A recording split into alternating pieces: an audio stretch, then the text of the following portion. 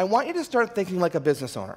And a business owner, you have a regular life, you have a job, you have things going on. Think about managing the job, not doing the job. Because while somebody else is moving the rocks around instead of you, you could be looking for your next deal. You could be finding the best contractor. You could be negotiating for the best roof guy. You can be doing other stuff that's much better for you than that. You want to spend your time on the high dollar activity. And truthfully, negotiating is the best per, per hour job you'll ever have in your life. Like it's the most money you'll ever make is negotiating. You're negotiating a house and you take off $10,000 because you made one phone call for 15 minutes.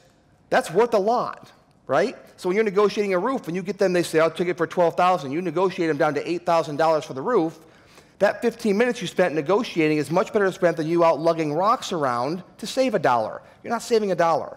So think like a business owner, okay? We don't encourage people to do the work anyway, because I think one thing that people forget they think they're saving all this money by doing the work themselves, but what they forget is how much time that takes. And most people start this on the side of a job already. So you're going to be doing the work in the evenings, on the weekends, whenever you can fit it in on your already busy schedule.